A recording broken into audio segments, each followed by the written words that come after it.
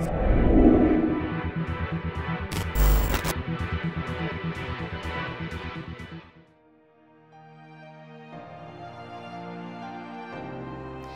Bine v-am găsit! Să-ți găsești mărimea potrivită la haine, modelul care să te avantajeze, croiala, stilul sau chiar culorile care să te pună în cea mai bună lumină. În funcție de nuanța pielii, culoarea părului sau a ochilor, pare dificil pe o piață atât de largă a comerțului online. O româncă a creat un manechin virtual customizat, bazat pe inteligență artificială, care a fost deja implementat de mai multe magazine online. Manechinul se adaptează cerințelor clienților și recomandă piese vestimentare potrivite siluetei lor. Sunt Bianca Iordache și mă bucur să vă am alături, iată subiectele de astăzi.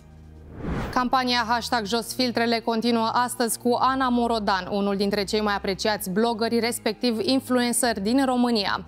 Cunoscută și sub numele de Contesa Digitală, Ana Morodan vorbește astăzi despre naturalețe, autenticitate, viața de influencer și modul în care îi sprijină pe tineri în mediile digitale. Manechinul virtual 3D, care îi ajută pe clienții care vor să-și achiziționeze piese vestimentare din magazinele online, este una dintre cele mai inovative soluții de tehnologie românești. Antonia Dumitriu, creatoarea acestuia, vine astăzi la Play IT și vorbește despre funcțiile manechinului, dar ne face și o demonstrație a acestuia. Este primul blogger de stil personal din România, azi influencer și antreprenor și încurajează constant pe tineri să rămână autentici și să nu se piardă în această lume digitalizată. Și credeți-mă, vocea ei chiar are eco în mediul online. Ana Morodan, bine ai venit! Bine te-am găsit! Campania Hashtag Jos Filtrele este o campanie despre putere, despre asumare, despre naturalețe. Cum definești tu naturalețea? Um, o întrebare similară um, s-a tot vehiculat, mă face să mă gândesc întrebarea ta la o întrebare similară pe care, care s-a tot vehiculat acum vreo trei ani um, în foarte multe emisiuni unde am fost invitată la foarte multe conferințe, am văzut-o adresată și multor colegi de-ai mei. Era acum trei ani întrebarea um, despre autenticitate. Corect. Și uh, am revenit la ea pentru că m-am gândit zilele trecute exact la chestia asta, că ne-am luptat atât de mult să devenim autentici, încât am devenit toți la fel. Corect. Da, trei ani mai târziu, suntem... Uh, trăim într-un algoritm care ne spune, hm? ce ne spune algoritmul de TikTok? Că toți trebuie să facem cei trendy pe TikTok săptămâna asta, suntem toți la fel. Așa că, cumva, nu știu ce să zic despre naturalețe. Cred că în 2024 să fii natural este un act de curaj, un act de foarte mare curaj. Uh, cred că pentru mine în 2024 să fii natural înseamnă din două perspective, o să-ți răspund acum. Din perspectiva umană și din perspectiva influencerului. Este să poți să ieși în față și să spui viața nu e foarte faină și mișto tot timpul. Nu. No. Așa cum Știi? pare. Și lumea cumva stă așa și îngheață. Nu, nu, să uite, ce, ce ciudată. Nu știe ce vorbește. Știi? Nu, nu, nu e ciudat. E ciudat faptul că nimeni uh, cumva nu-i... Uh, nu n-aș vrea să fiu tenebroasă cumva.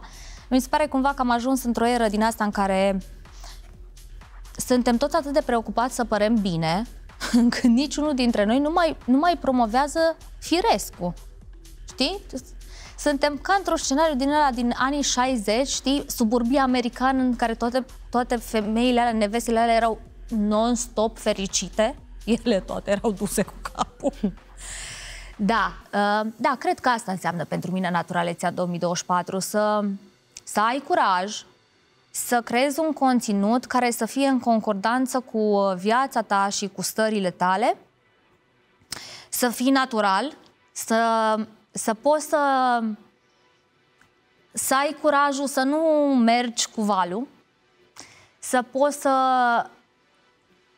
cu naturalețe și candoare să challenge status quo și să rămâi tu într-o lume în care îți spune non-stop ceea ce trebuie să fii.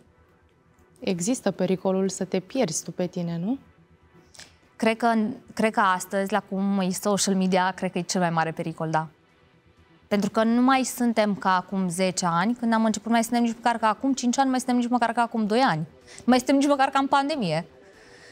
Acum, ce îți spune social media? Uh, Twitter îți spune că X, îi zice X acum, uh, îți spune că ceea ce spuneai în multe cuvinte, foarte meaningful, trebuie să spui în cuvinte puține și concise. Snapchat îți spune că nu contează ce postezi, trebuie să postezi foarte des, orice.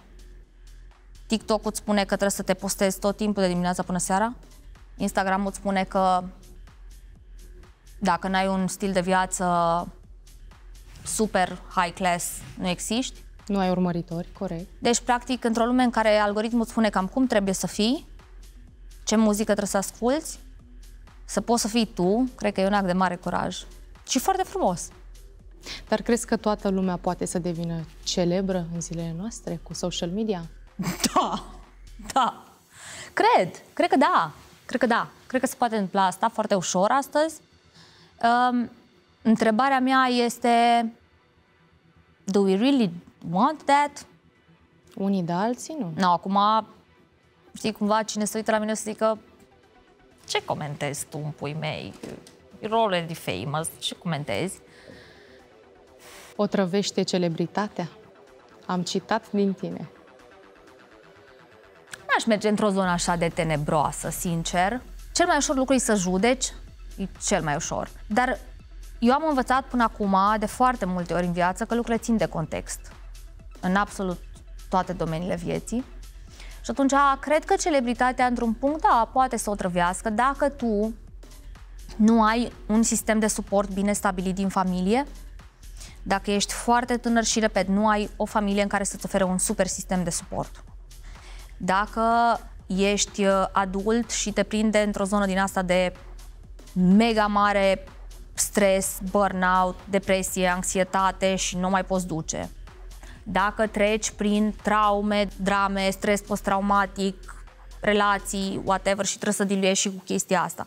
Cred că în anumite contexte celebritatea poate să devină un factor care să fie foarte stresant și o lume foarte otrăvită. Dar în același timp este o industrie care poate să fie foarte frumoasă, foarte fascinantă, foarte glamorous, cu oportunitățile ei, pe care putem să o îmbrățișăm, să ne bucurăm de ea și să fie super simpatică.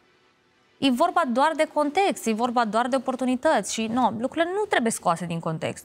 Ea e o industrie superbă, fascinantă, plină de oportunități, care te poate prinde bine sau te poate prinde nașpa. Depinde de unde ești și tu. Și, și de cum limitele, o dozezi, da. Probabil. Și de cum o dozezi. Și, repede, suport, sistemul tău de suport. Pentru că vorbeam de cum susții tu tinerii în mediile digitalizate, tocmai ai deschis Virtuel, o organizație non-profit, care ajută tinerii, da. Da. da Ce presupune este... Virtuel? Uh, Virtuel este este un proiect pe care îl tot uh, gândesc, este o consecință cumva, acum mă întreb pe mine, firească a evoluției mele. Um, eu am fost tot timpul, cumva, oamenii așa mă definesc ca și influencerul care a challenge status quo tot timpul. Și uh, acum vreo 2-3 ani uh, mă tot gândeam că se întâmplă ceva, nu mă mai, nu mă mai regăseam cumva, mi se prea... Cumva, m- noi am ajuns, fără să ne dăm seama, prizonierii lumii pe care am creat-o. Și nu, nu ne dăm seama. Eu nu sunt aici în fața ta să spun că social media e rea sau nașpa. Nu! Social media e extraordinară. Social media e plină de oportunități.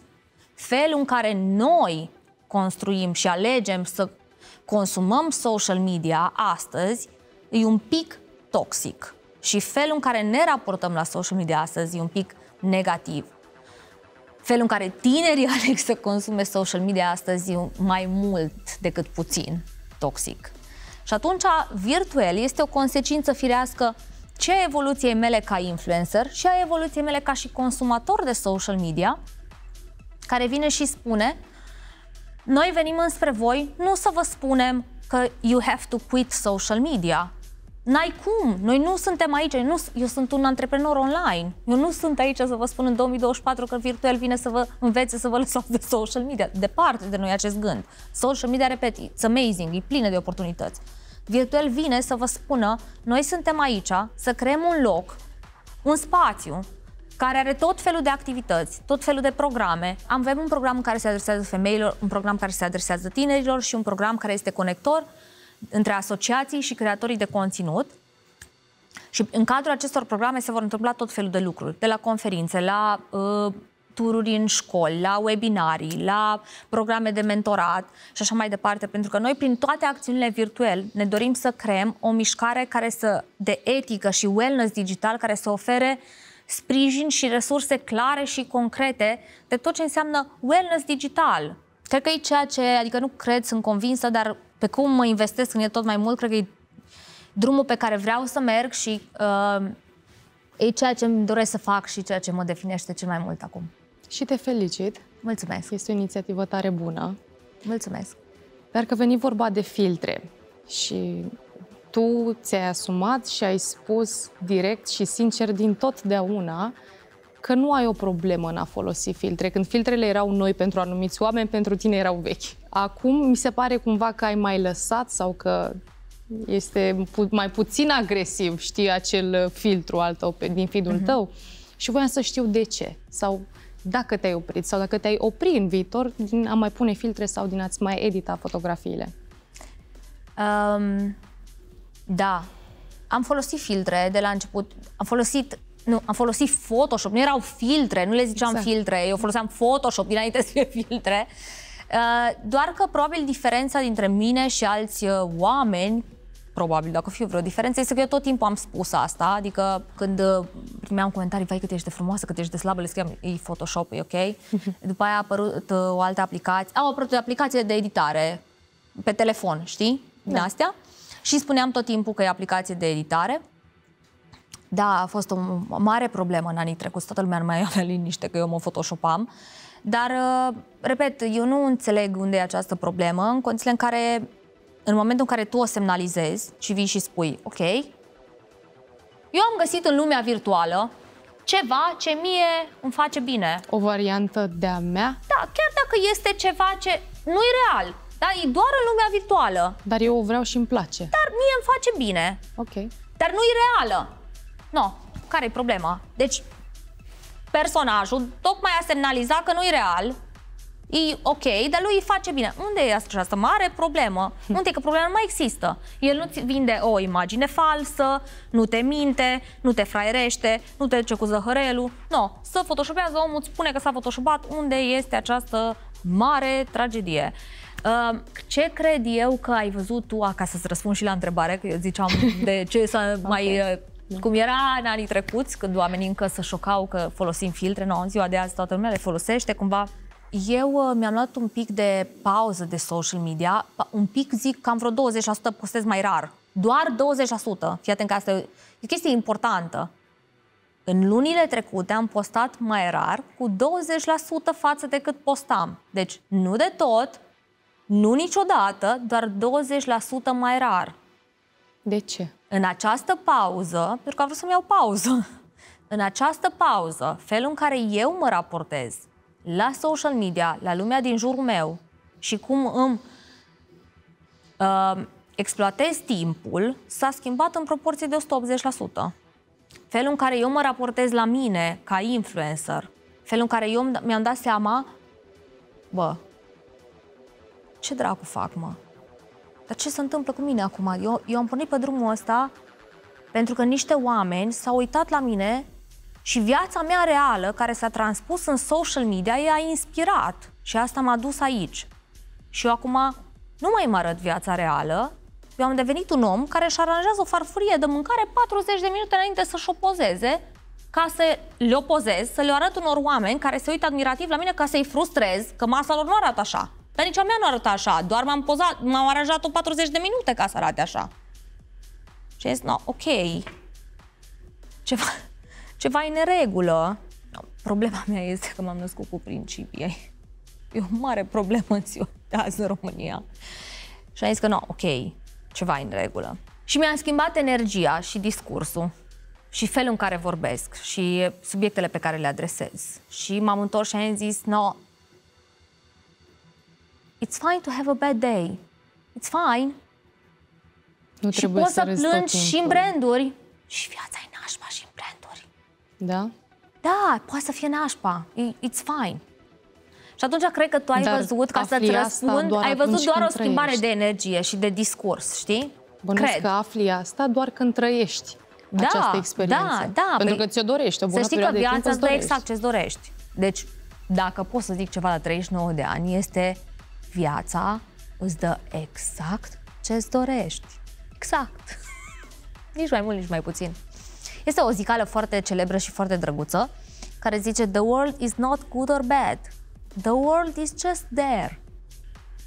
No. Important este cum Lumea e doar sau? acolo. Ok. Și tu când ceri, ca în Matrix, universul îți downloadează exact ce vrei. So, da. Mi se pare interesant că tu ai spus că nu ai cerut celebritatea, ea doar a venit către tine. Mm-mm. Eu nu mi-am dorit celebritate de la început, să știi. Mi-am dorit uh, să am succes uh, în antreprenoriat, pentru că îmi doream să le demonstrez uh, alor mei că pot și eu să am succes în antreprenoriat. Doar că n-am știut în altă, în altă parte să fac antreprenoriat decât în zona asta. Doar că celebritatea a venit cu toate plusurile și minusurile ei, cum zice. Uh-huh. Așa este. Și dacă ar fi să tragi linie, minusurile celebrității? Pentru că sunt foarte mulți tineri care asta caută, celebritate și atât. Uh-huh. Care ar fi? Minusurile? Nu știu ce să zic care sunt minusurile celebrității în ziua de astăzi, pentru că în ziua de astăzi, din punctul meu de vedere, celebritatea se definește foarte diferit pentru fiecare dintre noi. Eu dacă mă întreb pe mine care sunt minusurile celebrități, a fi, a fi o celebritate de TikTok astăzi, eu n-aș putea să-ți definesc asta, eu nu știu dacă n-am TikTok. Eu te Habar. întreb pe tine, Ana Morodan, cu Nu știu să-ți spun care sunt minusurile celebrității. Pot să-ți spun care sunt minusurile de a handlui uh, un episod sau o perioadă din viață în care toată lumea vrea ceva de la tine și tu ești foarte, foarte obosit și nu mai poți și nu știi să zici nu. Asta pot să spun care sunt minusurile. Îl clachezi la un moment dat. Te duci cu capul pe cărare. Astea spun, ăsta e minusul. Te duci pe cărare, la propriu. No, într-o perioadă în care nu mai poți, ești foarte obosit, nu știi să, cum să te mai destresezi de, și să te degrevezi de un stres oxidativ de ani de zile și toată lumea trage de tine și tu nu știi să zici nu, te duci pe cărare la propriu. Ți s-a întâmplat? Da, mi s-a și întâmplat. Îți povestesc din experiență. Tu ești o dovadă de putere, dacă m-ai întrebat pe mine. Ești dovadă, dovada, știi, acelei zicale care spune că viața este o luptă și câștigă doar cei care se ridică de jos. Da, aș vrea să mă raportez la viață de acum ca fiind doar o cărare plină de margarete. Nu mai este nicio super. luptă, niciun fel de luptă, cărare de margarete, dacă nu e o cărare de margarete și încep să se ofilia, nu să devină o cărare de spini. Când am văzut prima margaretă că s-a ofilit de pe cărare, m-am întors cu spatele și am plecat. nu mai vreau să aud că viața e o luptă, nu mai vreau să lupt, nu mai vreau să fiu personajul ăla puternic din încăpere, nu mai vreau să fiu femeia aia care are succes în antreprenori și le face pe toate. Nu. S-a închis. S-a închis la non-stop. Gata, it's ok. Să fie altcineva puternic. It's fine. Predau coroana, vă rog, să o ia cineva. Nu e o problemă. Dar uh, cred, într-adevăr, că viața are diferite nivele de iaduri. cred asta. Și cred că atunci când te ridici din ele, ești un pic mai puternic. Eu îți mulțumesc tare mult Mulțumesc că ai venit eu. la Playity și că ne-ai împărtășit și din experiență și din sfaturi și din uh, această viață de influencer. Mulțumesc. Și te mai aștept la Playity. Mulțumesc! Continuăm emisiunea cu o soluție tech bazată pe inteligență artificială. Un manechin virtual care ajută cumpărătorii să-și găsească mărimile potrivite la haine, dar și să testeze diverse modele și să le asorteze, ca și cum ar fi în cabina unui magazin. Antonia Dumitriu, creatoarea platformei, este astăzi alături de noi. Bine ai venit, Antonia! Bine v-am găsit și vă mulțumesc pentru invitație. Îți mulțumesc că ai venit. Spune mai multe despre Iris, manechinul virtual. Cum ți-a venit această idee? Când a venit această idee? Eu am început să lucrez în industria modei de la 16 ani, iar în timpul pandemiei, în lipsă de ședințe foto, m-am gândit ce oportunitate pot găsi într-o criză. Și așa s-a născut uh, Irisfera. Am participat la un concurs uh, de tineri antreprenori, iar acolo uh, m-a văzut investitorul și cofondatorul actual a platformei noastre și Restul este istorie, ne-am lărgit echipa de la două persoane la 10 și în curând lansăm. Dar tu ai văzut o nevoie pe piață, în primul rând. Eu fiind în domeniu și practicând partea de consultanță de imagine și atunci m-am gândit cum putem automatiza toate aceste procese astfel încât să fie și la îndemâna utilizatorului, dar și cumva accesibil ca preț, pentru că serviciile de consultanță sunt destul de uh, costisitoare. Iar partea de probă virtuală, evident, a venit ca un element adițional pentru a, a-i ajuta pe utilizatori. Bun, pe scurt, Iris te ajută să probezi înainte să comanzi. Da, ă, pe scurt, care este procesul? Este că în funcție de input, ă, inputul utilizatorului și anume culorile, spre exemplu, tenului ochilor și măsurătorile pe care le are, noi detectăm ceea ce îi se potrivește în mod automat, în funcție de tipul de siluetă. Ulterior, aceste recomandări pot fi probate pe manechinul virtual 3D înainte de a achiziționa produsele pe platformele partenerilor noștri, care sunt magazinele online de modă. Bun, hai să facem un demo, să vedem cum funcționează Iris. Este foarte simplu de folosit. Mai întâi, utilizatorul ajustează culoarea ochilor părului tenului, apasă pe continuu și este redirecționat către uh, ecranul de măsurători, unde completează patru variabile și anume umeri, bust, talie, șold. În funcție de aceste date, noi știm exact în timp real ceea ce haine îi se potrivesc în, în funcție de măsura detectată, în funcție de tipul de siluetă pe care îl are și evident ce culori îl complimentează cel mai bine. Este o filtrare automată. Adițional, aceste recomandări vor putea fi vizualizate în mod 3D înainte de achiziționa. Și își poate selecta și stilul bănuiesc, nu? Vom ține cont în versiunea a doua și de către preferințe. Targetul nostru este să încurajăm shoppingul conștient, uh, nu doar ceea ce preferi, ci ceea ce te complimentează. Dar vom ține cont și de uh, preferințele utilizatorului în mod evident. Înainte de a aproba articolele 3D vestimentare, utilizatorul își poate customiza propriul manechin în, în funcție de uh, trăsăturile feței uh, și corp. Apeși pe un body part, uh, iar uh, și îl poți ajusta după cum dorești. Po- poate fi mai slab, poate fi mai corpolent, uh, absolut uh, toate elementele uh, pot fi customizate, de la față până la corp. Cât ați lucrat la acest proiect? Am uh, lucrat 2 uh, ani și jumătate. Primul an a fost partea de research, iar uh, dezvoltarea propriu-zisă a început acum un an, un an și jumătate. Se pot personaliza inclusiv trăsăturile utilizatorului?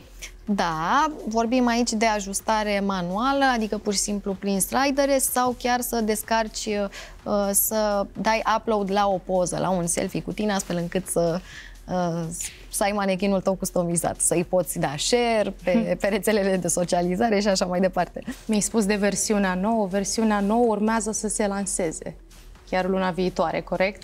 Vom lansa uh, prima versiune și, a, uh, și anume AI Personal Stylist, partea de consultant de imagine virtual, iar în versiunea a doua vom adăuga manechinul. Uh, suntem în căutare de parteneri noi cu care putem lucra și anume magazinele online de modă. Crezi că aplicația ta, respectiv platforma ta, este un prim pas către sustenabilitate, către mai puțin consumerism și mai mult shopping conștient?